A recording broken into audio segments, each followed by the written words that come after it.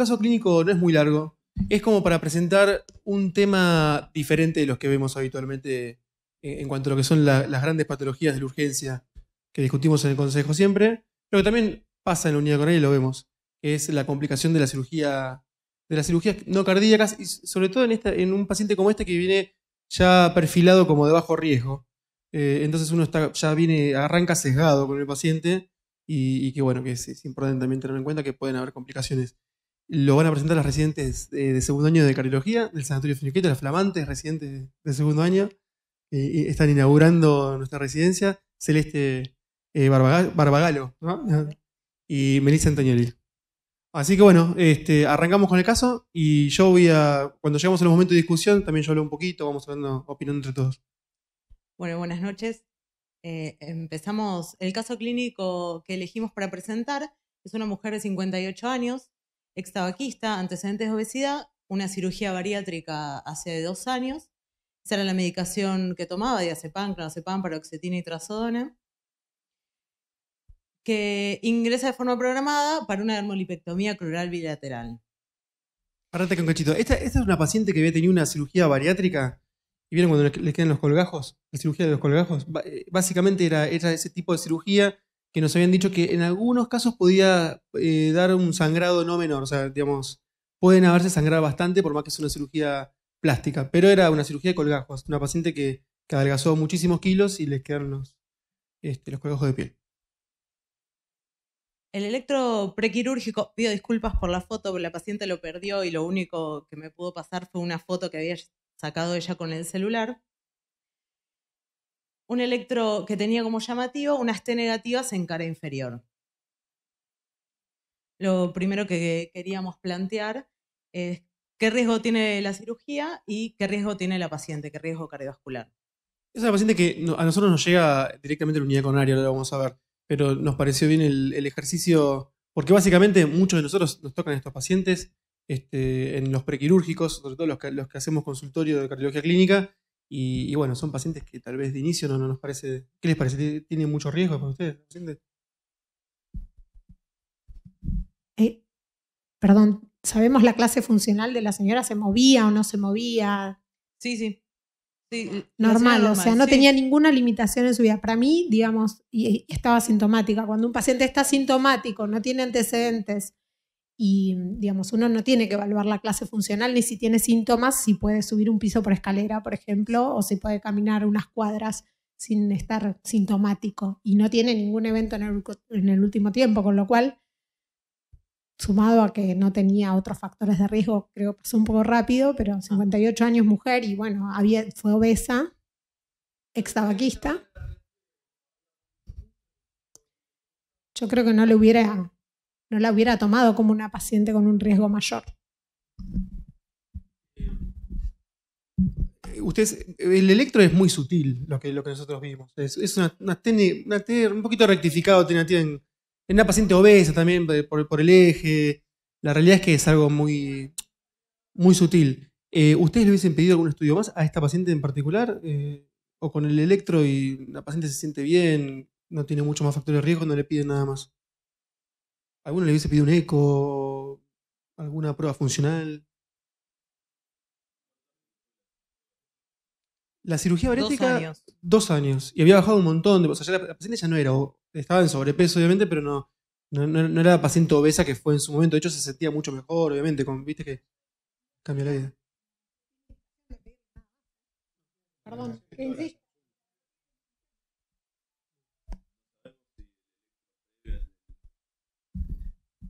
Cuando se hizo la cirugía bariátrica debe tener un prequirúrgico, no sabemos el electro previo.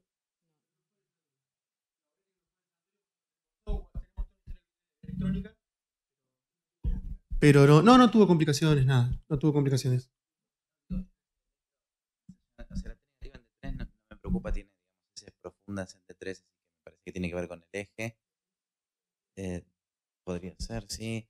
Después veía, o sea, no cumple criterios estrictos para tener el bloqueo anterior izquierdo, pero cuando uno mira las precordiales, las precordiales sí me llaman la atención, en el contexto de todo, ¿no? O sea, las R tiene R altas en B2, R altas más en B2 que en B3, hay una cuestión técnica ahí, o eso no se explica para una persona con sobrepeso, una esperaría que tenga atenuación de las R's en las miocardiales más que esta.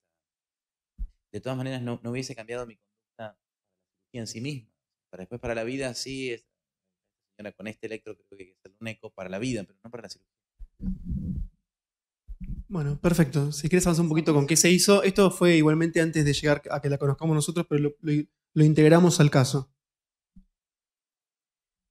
En las guías de riesgo cardiovascular de la SAC, la paciente tiene un, el riesgo de la cirugía, por ser una cirugía plástica, un riesgo bajo, no cumplía eh, ninguno de los criterios mayores ni menores, por lo que nuestra paciente tenía un riesgo clínico bajo, y en el cuadro de doble entrada nos daba un riesgo cardiovascular clínico quirúrgico bajo. Te, te interrumpo una cosita, porque también Sí. esto, esto es interesante. Vieron que está muy en boga el tema de la cirugía, de los eventos cardiovasculares en la cirugía no cardíaca. Y esta, esta guía está muy buena, la guía de la SAC, porque a diferencia de otras guías, eh, nosotros lo estuvimos revisando en el Finoquieto, este, porque hicimos un simposio de cirugía no cardíaca, y estuvimos revisando el tema sobre todo lo que son las guías europeas y las americanas.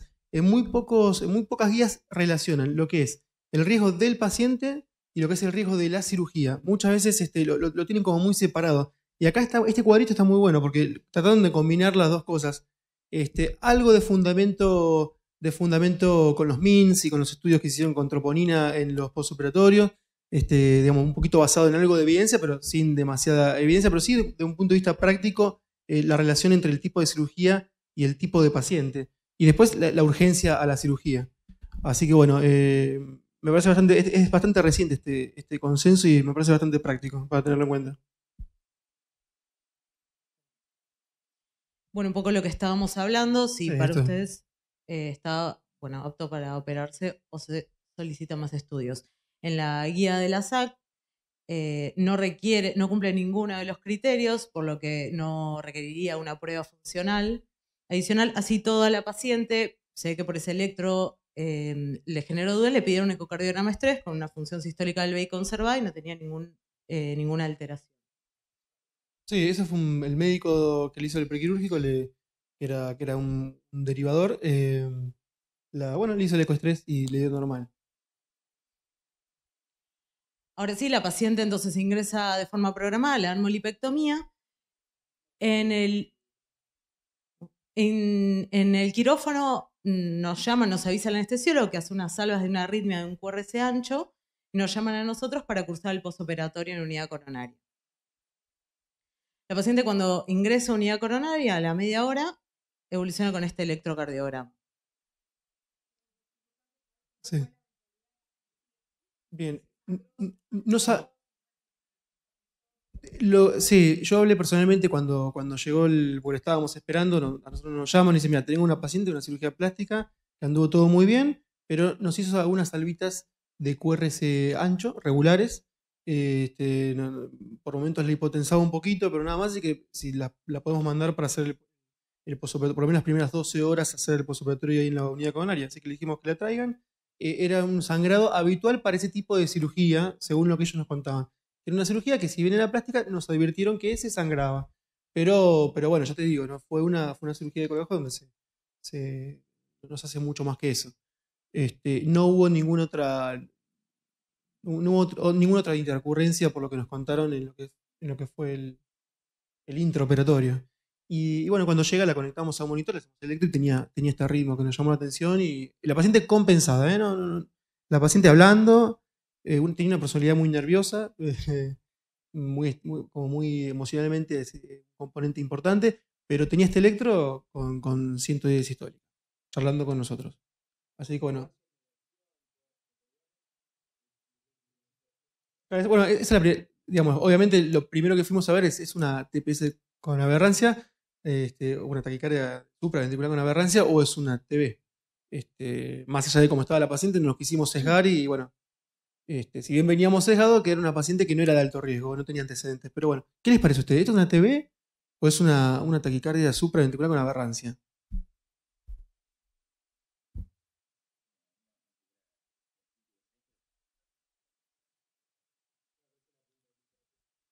Em, eran. Mira, vos acá lo ves, era levemente positiva. Porque después tenemos otro electro más. Después vamos a, a pasar otro electro que lo vamos a ver. Era levemente positiva. Tenía una. Sí. no, pensando lo mismo eh, que ellos, ¿no? Me parecía que venía como con concordancia negativa para pensar para TV. No le veo ninguna fusión ni ninguna captura, pero ahí en el último latido parece que tuviera una P antes, pensando en la, en la disociación. El último latido del primer, eh, de la primera tira podría tener una P y es, raro también ahí porque justo hay un artefacto, porque se ve también en el último latido de la primera tira atrás, que deben ser, debe ser el mismo latido, o sea que podría ser un, latido de disociación, o sea que se vea la disociación. Ahí.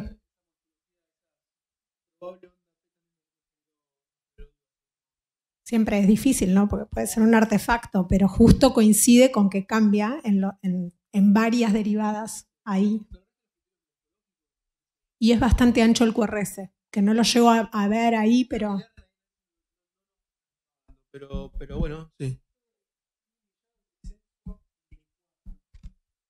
Tiene mellado el descenso en B4, ¿no? En la onda S. Eso es un criterio de aberrancia a favor de taquicardia ventricular. Eh, lo cierto es que está a 150, ¿no? Y eh, la espiga del, de ahí la onda R en B1, en B2 es bastante angosta, ¿sí? Pero bueno, el mellado en el descenso de la onda S sería un criterio a favor de, de taquicardia.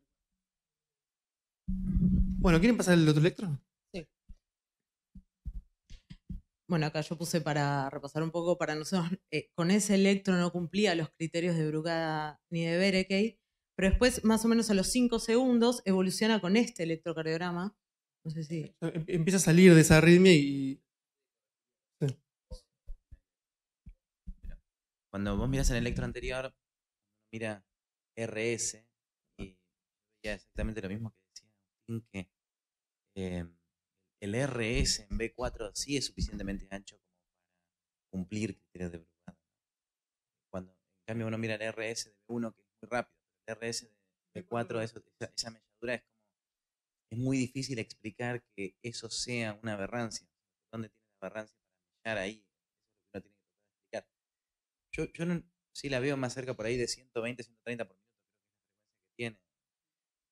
Por eso es que creo que lo está tolerando. Parece un ritmo más idioventricular que una taquicardia ventricular en sí misma. Pero sí pensarían que el ritmo es ventricular. Sí, vos sabés que eh, eso fue una de las primeras cosas que vi por el monitor, porque eh, después cuando hicimos el electro vimos un poco mejor la frecuencia, pero por monitor a mí me parecía, media, me parecía lenta. Inclusive en un momento dije, no tengo un- no es un RIVA eso, me- cuando, cuando apenas vi el monitor me pareció un RIVA. Este, pero bueno. Y después sale, sale este ritmo y, y a- y sale y entra de, de este ritmo. Empieza a ser con algunas características que ya no nos gustaban tanto en cuanto a la repolarización auricular. que nos, hace- nos empezaban a hacer sospechar otras cosas. Sí. Sí.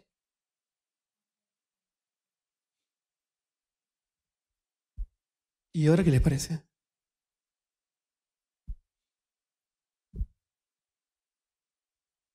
Paciente no tiene antecedentes de, nada, eh, de arritmia, nada. Teníamos un laboratorio, sí, del, del, del inmediato, sin enzimas, sin nada, pero, pero que no tenía. eh, No tenía. Medio interno estaba, estaba bien. No. Algo de, de- palpitaciones con esto y estaba muy nerviosa. Básicamente se confundió un poco los síntomas porque la señora. Sí, no, ella estaba muy nerviosa por estar en la unidad cor- coronaria, no entendía que- por qué la habían traído ahí.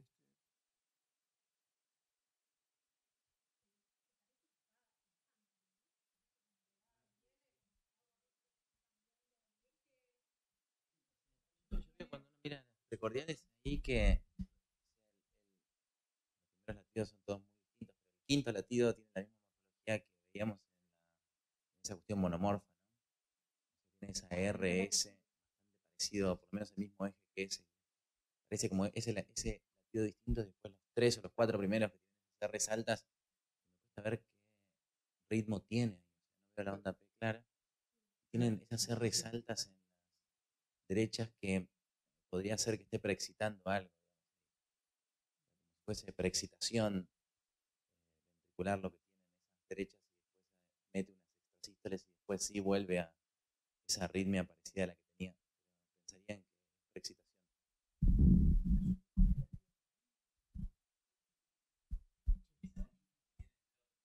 Yo veo claro ahí los últimos tres latidos en D1, ¿no? Que parece una tripleta y una arritmia, una arritmia ventricular compleja.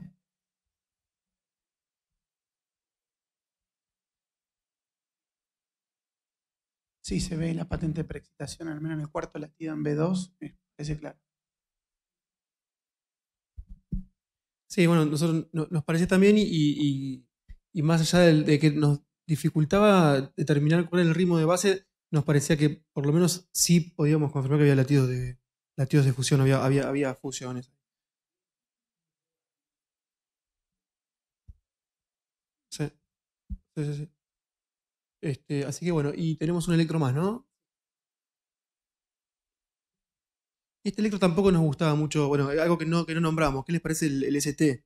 Porque acá ya como que vamos saliendo a poco, este, y, y ese ST no nos gustaba. No sé qué les parece a ustedes.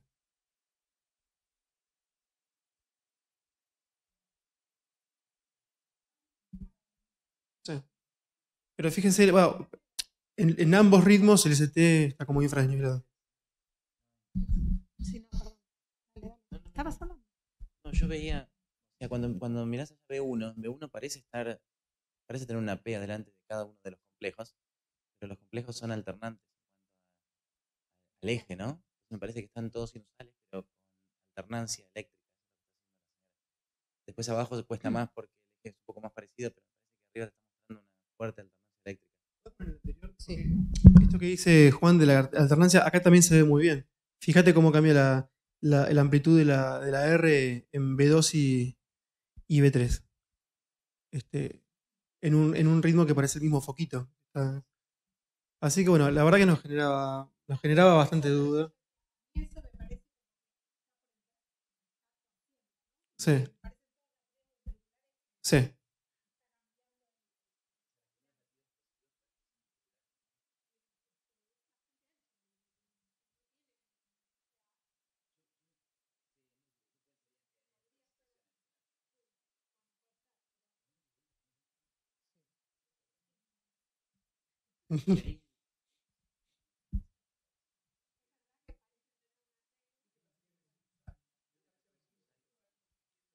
con, con un ritmo ectópico que, que está, que está ahí disparando. pero- y que de a poco como que se va estabilizando solo, espontáneamente, porque esto fue sin. Sí. Sí, sí, sí, sí, sí.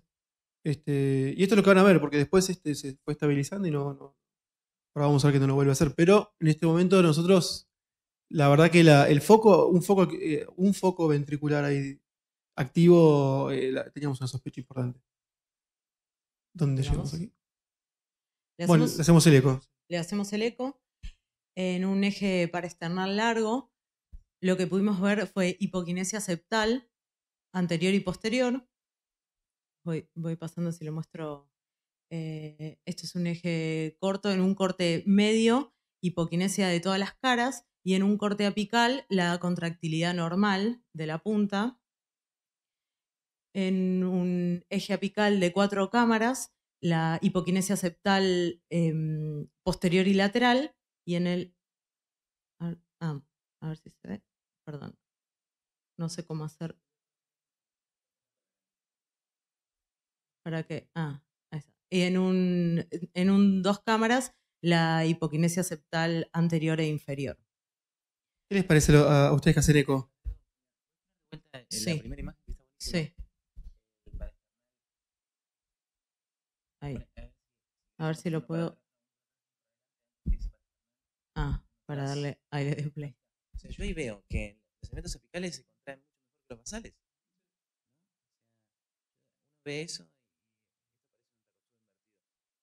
y, y cuando pones de- la próxima, que ves el eje corto, se nota Avanzó. eso. Fíjate que los segmentos basales se contraen muy mal y los segmentos apicales se cierra todo. ¿no? O sea,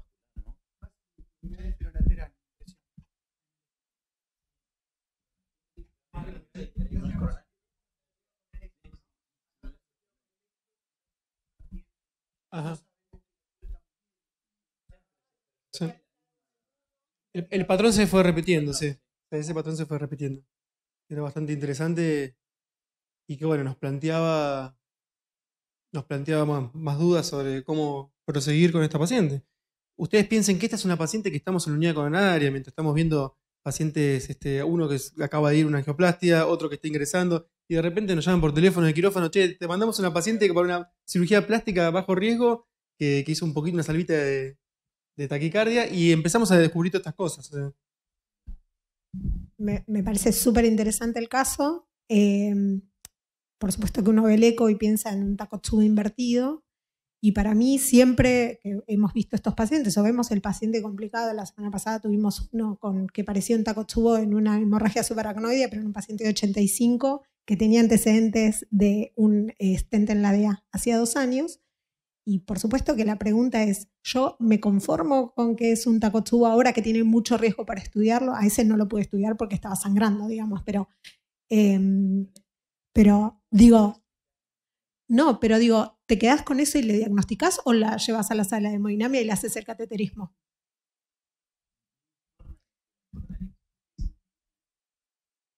Ok, pero vos te que, o sea, porque la paciente puede evolucionar bien o puede evolucionar mal. Y si evoluciona mal y se muere, ¿vos te quedás con la duda? Vamos ahí, ¿eh? Va- Vamos a hacer la, a la- a la discusión que están teniendo ustedes ahora, es la discusión que nosotros planteamos en ese momento, que es esta. Eh, Solo, perdón, quería agregar que sí. la función sistólica del BI tenía un deterioro moderado severo, cuando la Claro. paciente teníamos una de función normal. Sí, no se olviden que teníamos un ecostrés hace poquito. O sea que evidentemente algo agudo estaba haciendo. No, el laboratorio normal hasta, hasta-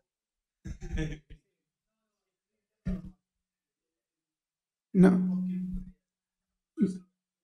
No voy a decir nada nuevo, pero me parece que el paciente que recibe este, este paciente ya, bueno, por lo menos tener en claro que el riesgo cambió. Tenemos una paciente con arritmia ventricular compleja, con trastornos inventarios de la motilidad, con un electrocardiograma con una injuria, por lo menos B1, B2, B3, algo habíamos visto, con lo cual para mí la, eh, digamos que eh, la enfermedad coronaria, quizás silente en cuanto a Angor, quizás soy muy unicista, pero bueno, es el diagnóstico a, a descartar.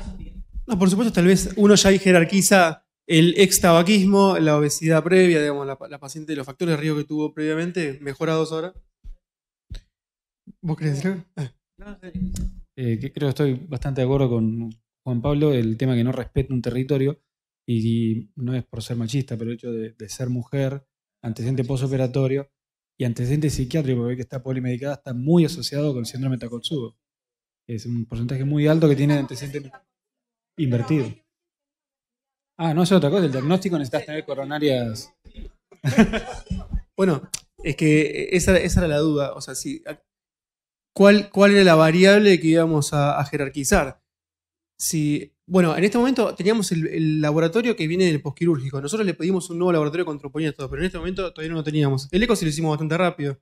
Este, ¿Qué te iba a decir? Este, y, y en este momento, con el eco y con lo que teníamos, nos planteamos esto. Dijimos, bueno, ¿qué jerarquizamos? Una paciente mujer, un riesgo cardiovascular previo, bajo, pero que claramente, como decís vos, ahora cambió, que tiene regionalidad, que tiene disfunción ventricular nueva y que, este, pero que no respeta territorio. Sí, exactamente. Tenía, tenía tratamiento psi- psiquiátrico que puede dar alteraciones eléctricas. O jerarquizamos. No, sí. Sí. No tenía QT prolongado. Pero bueno, es, es para tener en cuenta. Sí, siempre los, antidepresivos, siempre hay que tenerlos en cuenta. O jerarquizamos que es una paciente. Vamos a lo básico, somos sistemáticos y moral. Paciente con una hipoquinesia nueva y, y, y TB. Este, eh, le hacemos una, una CCG, tenemos que ir a CCG, estamos obligados a. Inclusive buscando el valor predictivo negativo, ¿eh? como, como dice Juan, decía, yo no creo, esto no me respeta ningún territorio, yo no estoy esperando encontrarme con nada. Pero podemos evitar la CCG, podemos evitar el cateterismo, de un punto de vista médico y médico legal, en una paciente que piensen que alguien le puso a, la paciente en un riesgo quirúrgico que era de bajo riesgo. Y le, estamos explicando a la familia que la paciente está haciendo arritmia, que la, familia, que la paciente tiene un problema en el corazón, que, el corazón no se está moviendo bien. O sea, no- nos cuesta no llegar en profundidad, ¿no? Por más que pensamos, tengamos... Yo ahí creo que me pregunto qué morbilidad le agregás por hacerle un cateterismo. Porque de verdad, de haber estado unos años ya en la unidad coronaria, tenés una así que decís, yo no la estudio porque no sé qué, se descompensa, se muere y después te quedas con las ganas de haberle visto las arterias o de haber explicado. Por eso digo, por ahí, más desde un punto de vista defensivo y médico legal, yo la estudiaría, porque pienso que la morbilidad de, llevarla a la sala de hemodinamia no es tan alta. Por supuesto que los cateterismos que se complican son todos los que hiciste al Perdón, los que hiciste que no tenías que hacer. Yo creo que o sea, muy probablemente la terminaría. Por ahí no, no iría corriendo ahora a la sala de No hay un Supra, no está con no tiene dolor. Entonces, yo me tomaría este tiempo. A ver, veamos el laboratorio completo. Si la señora sigue haciendo arritmias, arritmia, hay que estudiarlo igual. Pero me tomaría ese tiempo para ver qué es lo que pasa. A lo mejor si la, si la paciente borra completamente las arritmias, la troponina es muy baja, eso va en contra de. En el otro extremo, troponinas muy altas, arritmia persistente, no hay una causa que lo pueda explicar, parece que lo justifico más. Bueno, la verdad que, que es muy lógico. Sí, ella quedó. Esto fue espontáneo, la resolución de la arritmia fue espontánea y nosotros igualmente le dejamos un, mantenimiento de amiodarona. Sí. La borró sola. La borró sola. Eso es importante de que, se los contemos porque la borró sola. O sea, no, es que salió de este evento y, no lo hizo más. Obviamente, eh, en lo que era la, etapa inicial, porque ella ya lo había hecho en el, en el, en y no sabíamos si lo iba a volver a repetir. Pero bueno, la realidad es que lo, re- lo revierte sola y nosotros le agregamos un mantenimiento de amiodarona. Y bueno, nosotros, la verdad que es muy lógico lo, que vos decís. Acá, digamos, se, se le se priorizó un poco lo que era la hipoquinesia de la TV y fuimos a buscar. Pedimos troponinas, pedimos todo, pero teníamos, cate- teníamos ahí hemodinamia libre, estaba el hemodinamista con tiempo y bueno, la llevamos a hacer un cateterismo. Ay. No puedo darle. No, no sé cómo.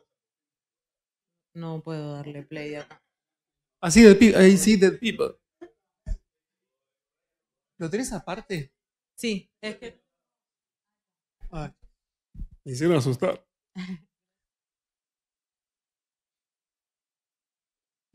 Bueno, ¿qué les parece?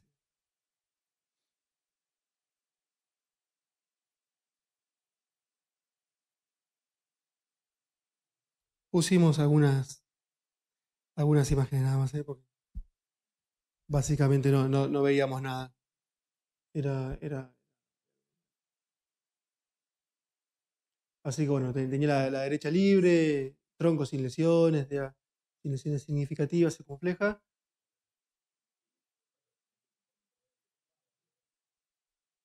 Tiene un ramo, sí, tiene un ramo intermedio.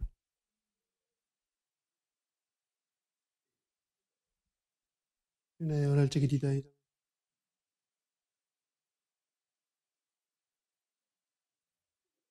Sí. Bueno, no son sí. No, no estaba sondada. No sé de qué es esto. Pero no, no, no, no, no porque es un- una cirugía. eh, Ella estaba muy des- estaba descomplejizada ella. sí. La complejizamos ahora nosotros. bueno, y le hicimos un ventriculograma. Y a ver lo que vio, lo que vio Juan en el eco. Las de picas. Se ve en el ventriculograma, el, ahí como, de- como decía Juan, lo, que- lo que viene en el eco. ¿Cómo? Sí. Sí. Sí. Y lo medio se queda. Los medios ventriculares se quedan.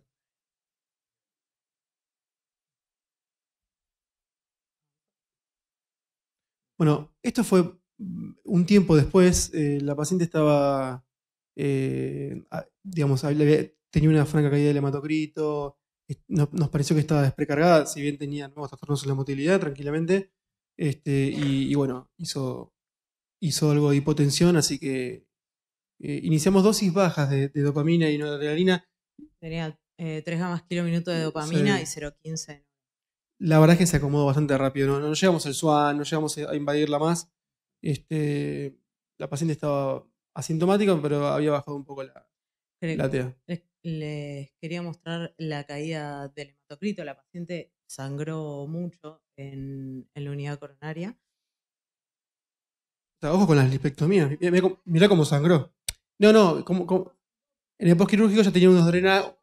Sí, vino con unos drenajes que, que- que venían con bastante débito. Ya vienen con unos drenajes. Este, en las primeras cinco horas habrá sangrado entre 500 y 600 mililitros.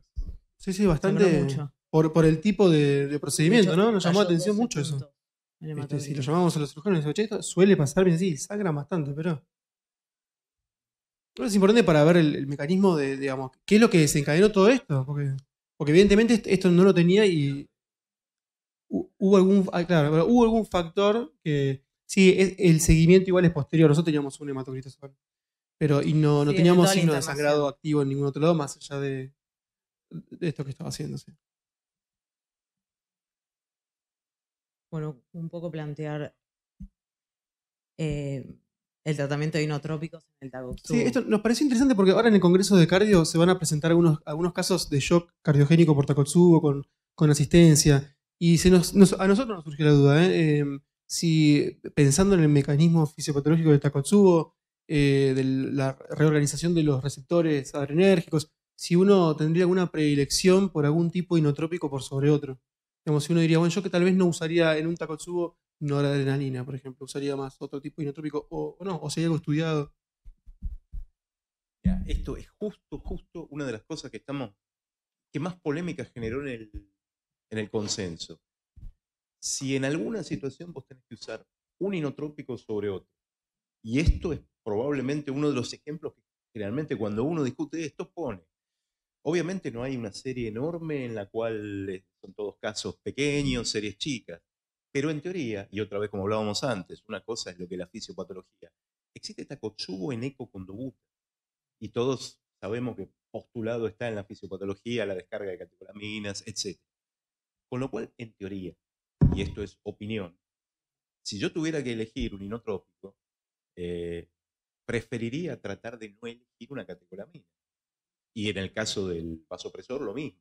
Si vos me das a elegir y puedo elegir, yo creo que evitaría beta adrenérgicos y evitaría noradrenalina, dopamina, etc vasopresina o fenilefrina, que casi no tiene, es prácticamente alfa solo como vasopresor, y mirrinone o levosimendan como.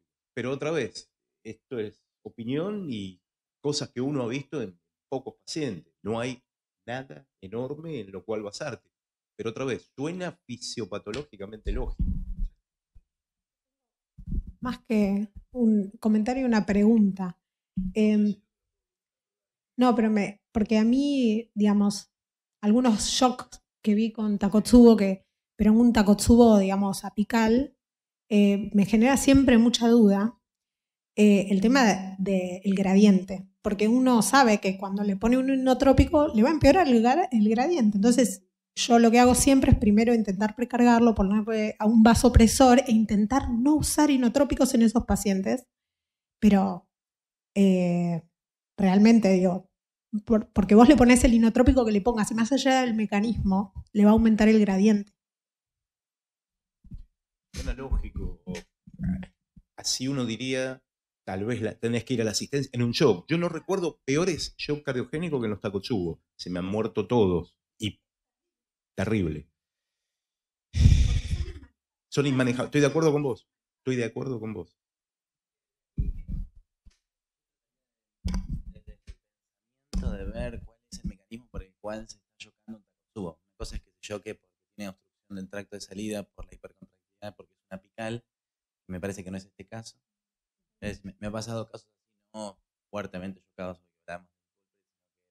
con tendencia a la hipotensión y hasta la mejora en esos pacientes hay que utilizar beta bloqueantes y el paciente mejora con el uso de beta bloqueantes porque le sacas la obstrucción. En otros casos hemos usado balón de contraposición como para mantener la presión que. En otros casos usamos fenilestrina o vasopresina para no utilizar una catecolamina directa. Y después hay casos en donde todo el ventrículo está pinchado, no hay obstrucción. Y ahí tenés que recurrir a un inotrópico puro, digamos. Como para pensarlo así, es como dirías, bueno, si hay obstrucción pura y ligera hipotensión, no. Pero. Sí, sí, sí. Arriba se cierra. está re chocado. Y los hay. Yo tengo la impresión de que esos no los puedo tratar, de verdad. Aparte cuesta encontrar una causa reversible y tratable, en- en- sobre todo en lo agudo. Eso- esos ten, esos ten hemodinámicos hasta que pasan. sí. Eh, bueno, ¿cómo seguimos? Seguimos. Ahora Bueno, sí. las, las famosas troponinas, las troponinas se las hicimos y hicimos, hicimos curva. Hizo curva de troponina. Me llamó la atención. Pero bueno, estamos en un Takotsubo. Mm. Mm. Sí. Esta es una troponina ultra sensible, igual. ¿eh? Pero. Es una, es una troponina T ultra sensible. Pero sí, le voy llegó a 1500 de pico. Es, era, digamos, era para, para tener en cuenta. Impactó, digamos. Bueno, preguntarle si para ustedes es un Takotsubo atípico o pensarían también en algún otro diagnóstico alternativo. Entramos dentro de lo que es el, el- grupo heterogéneo y bolsa de gato de los Minoca. Este, ¿Alguien plantearía algún otro diagnóstico diferencial como revisar? ¿Consciente? Paso a espasmo, microcirculación, etcétera. Teniendo en cuenta el fenotipo que tiene desde el punto de vista del eco y el contexto, fuertemente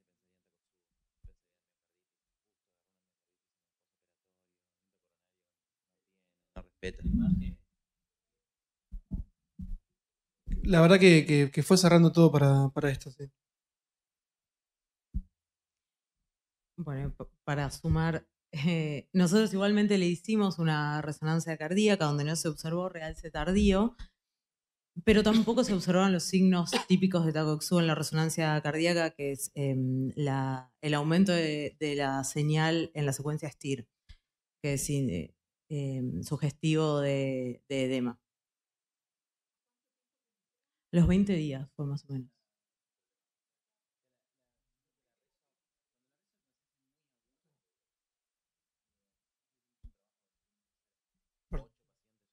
Takotsubo y resonancias muy agudas, muy agudas y dentro de las 24 horas y lo que encontramos es que se ve realce, pero se ve realce porque está tan edematizado el músculo que el contraste se queda, no es el mismo realce que una secuela, pero es muy agudo. A medida que te vas alejando ya perdés. eh.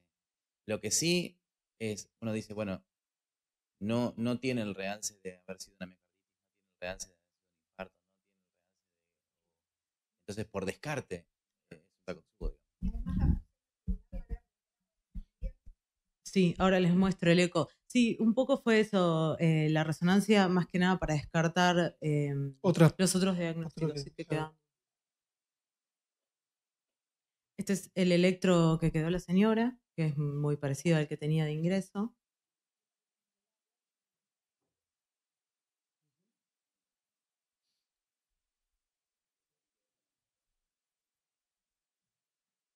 Sí, eh, ella quedó con, digamos, la- el, el seguimiento. Ella, por, por supuesto, evolucionó hemodinámicamente estable después, recupera la motilidad y, se va de alta. Y lo que queda es con, con dosis bajada de amiodarona. La medicación psiquiátrica, la, realidad es que no se la, no se la modificamos, aunque ah, inicialmente no la recibió, por supuesto. Y, la idea es que, es que, era, que, la empiece a seguir electrofisiología y estudiar un poco más profundamente, igual, la- seguirla con Holter, ergometría, etcétera. Pero bueno, el- finalmente con el diario del, del día después se terminó interpretando los trastornos eléctricos como secundarios a la miocardiopatía aguda que estaba teniendo la paciente. Así que no sé si nos vamos a encontrar con algo desde el punto de vista eléctrico después. Resuelto lo, lo- miocárdico, tal vez estabiliza lo eléctrico. Sí, es verdad esto, de eh, ahora que lo veo, lo que dicen ustedes, el de QT está, está un poco prolongado, sí. Sí. Sí. Sí.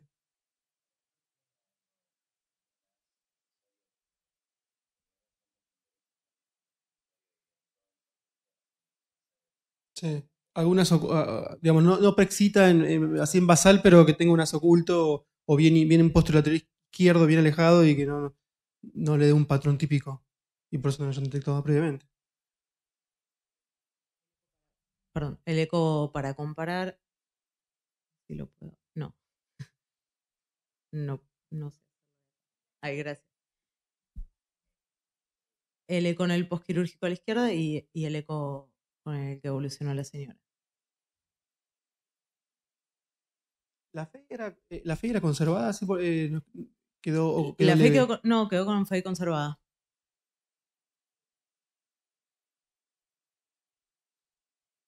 Bueno, básicamente, digamos, el- la idea de, tratar- de traer un caso diferente a, las patologías que vemos siempre y que te puede pasar que estás en la unidad coronaria y pues, son pacientes que...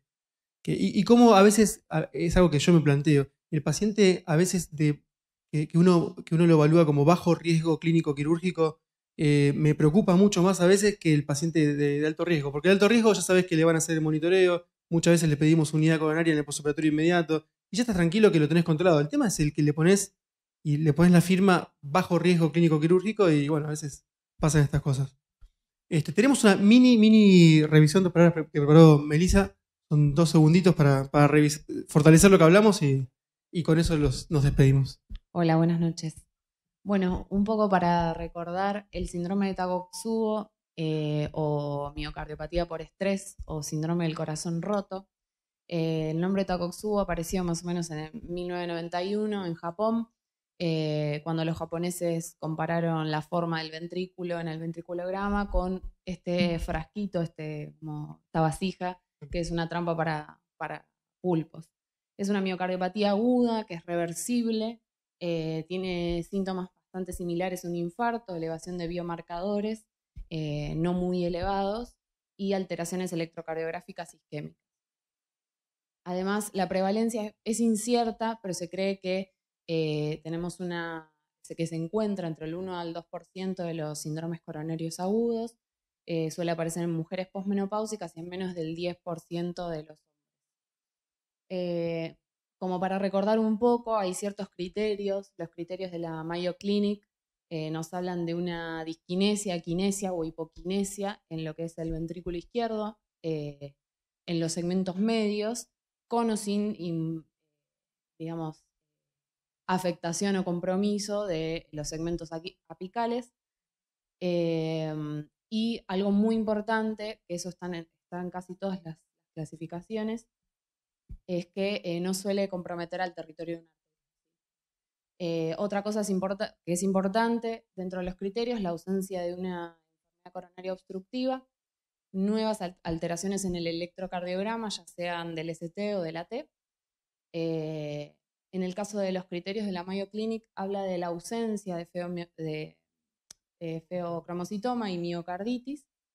Después están los criterios japoneses que hablan de un balonamiento apical del ventrículo izquierdo una causa desconocida, que obviamente en el ventriculograma va a tomar la, la forma del de Takotsubo, eh, que dentro del primer mes de producido el, el evento haya como una reversión eh, de una, una completa resolución de la quinesia apical. Eh, después, por otro lado, también que puede estar involucrado principalmente el ventrículo izquierdo, pero también hay casos, eh, se han visto casos de, compromiso del ventrículo derecho, una obstrucción dinámica, como hablamos hace un ratito, del tracto de salida también puede ser observada, y la ausencia de eh, la estenosis o espasmo de las arterias coronarias. Feocromocitoma, miocarditis idiopática o alguna alteración. Hace poquito, en abril del 2018, eh, la una declaración del, equipo del síndrome de de la Sociedad Europea de Cardiología cambió un poco, en realidad los modificó a los criterios diagnósticos y nos habla de anormalidades de motilidad parietal regional transitoria del eh, miocardio ventricular, que obviamente tienen que abarcar más allá del territorio de, de un vaso, tiene que haber ausencia de enfermedad arteriosclerótica culpable, las nuevas alteraciones electrocardiográficas que tienen que ser reversibles, nos habla un poco del BNP y del pro-BNP, que antes no estaba mencionado, eh, sobre todo que está significativamente elevado durante la fase aguda, una, relación, una elevación positiva pero relativamente pequeña de la troponina, esta paciente tenía 1500 de troponina, ya bastante elevado, y eh, la recuperación de la función ventricular sistólica dentro de los 3 a 6 meses de producido el evento.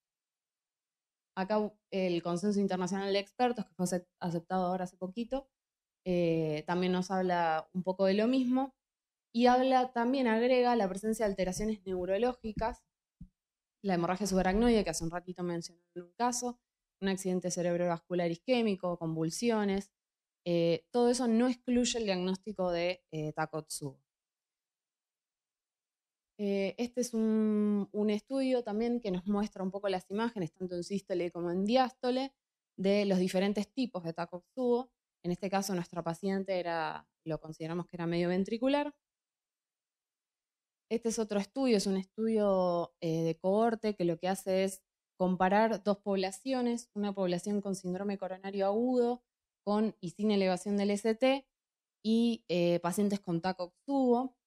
Y lo que evalúa es, en el, en el cuadro de acá de la, de la izquierda, eh, evalúa más que nada lo que es la mortalidad, que es bastante similar entre los dos grupos.